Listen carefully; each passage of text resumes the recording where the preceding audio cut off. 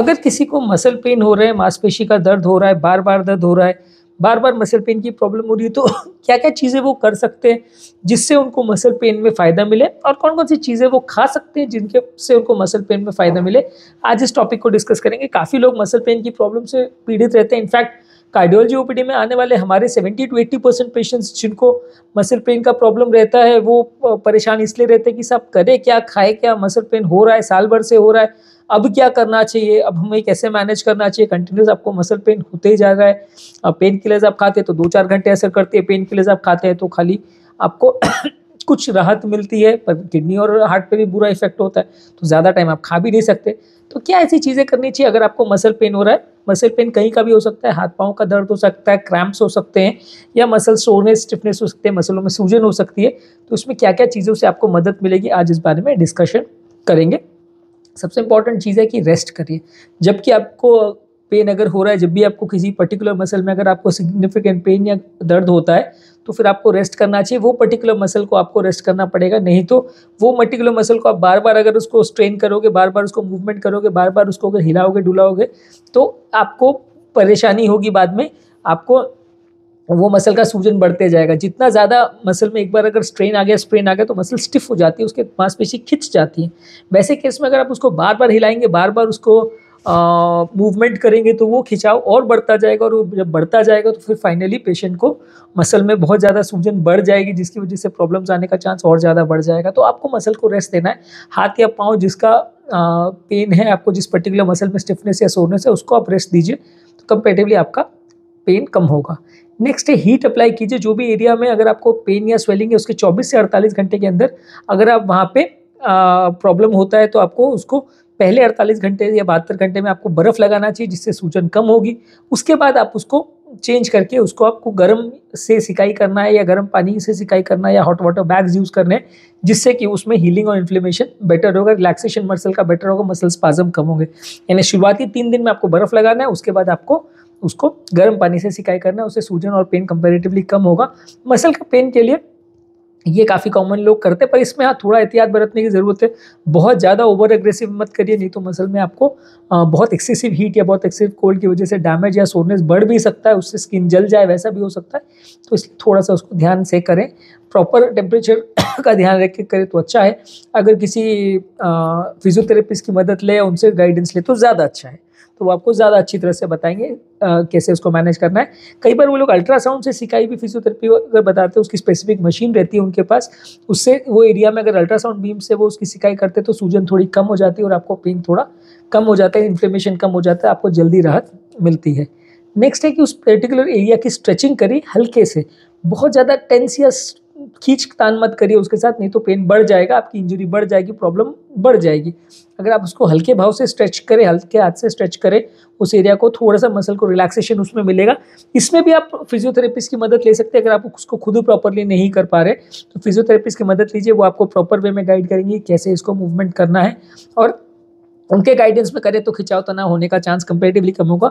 अगर फिजियोथेरेपिस्ट की सेवाएँ अवेलेबल नहीं है तो घर पर भी कर सकते हैं, लेकिन वो उतना इफ़ेक्टिव या उतना एक्यूरेट नहीं हो पाएगा जितना आप फिजियोथेरेपिस्ट की गाइडेंस में करें तो ज़्यादा अच्छा रिज़ल्ट आपको मिलेंगे।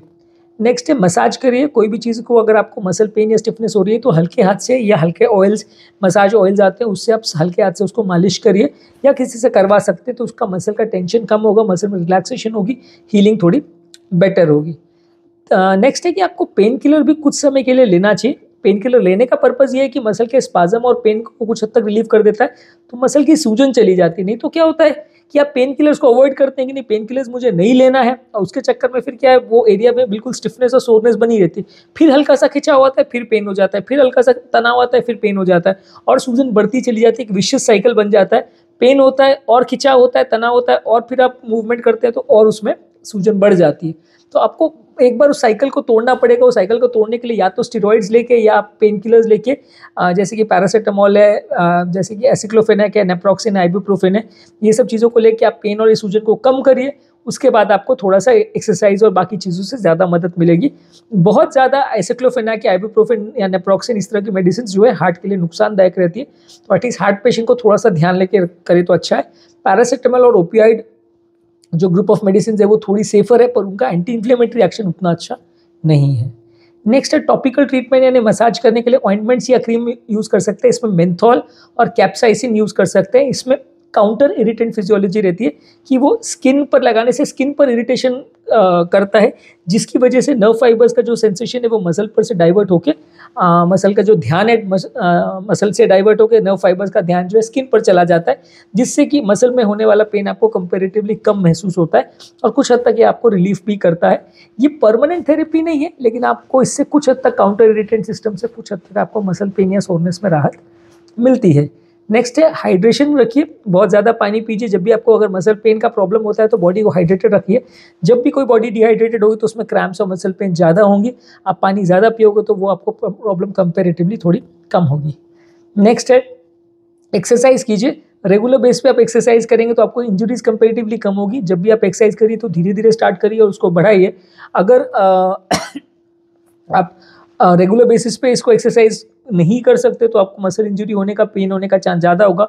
कई लोग का क्या ऐसा रहता है कि वो सडनली छः महीना में एक बार एक्सरसाइज करते हैं पहाड़ चढ़ के आ जाते हैं उसके बाद फिर दस दिन तक बिस्तर पर पड़े रहते हैं मसल पेन के साथ। तो उस समय सूजन या सोरनेस ज़्यादा होगी, अगर आप सडन स्पर्ट्स में एक्सरसाइज करेंगे, आप रेगुलर बेसिस पे उसको एक्सरसाइज करेंगे धीरे धीरे करके बढ़ाएँगे और अपना एफर्ट टॉलरेंस बढ़ाएँगे तो आपको ज़्यादा अच्छे रिज़ल्ट मिलेंगे। अगर आप लापरवाही करेंगे और मसल के साथ एक्सपेरिमेंट्स करेंगे, बहुत ओवर स्ट्रेच करेंगे तो आपको उतने अच्छे रिज़ल्ट नहीं मिलेंगे पेन ज़्यादा होगा।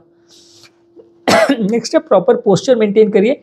अगर आप बैठने के टाइम या कुछ काम करने के टाइम या वर्क करने के टाइम या लैपटॉप पे बैठने के टाइम कुछ भी अगर फ़िज़िकल जॉब भी कर रहे हैं तो पीठ का प्रॉपर पोस्चर अगर मेंटेन करते हैं, गले का प्रॉपर पोस्चर मेंटेन करते हैं तो आपको पेन्स या पीठ का दर्द कंपेरेटिवली कम होगा।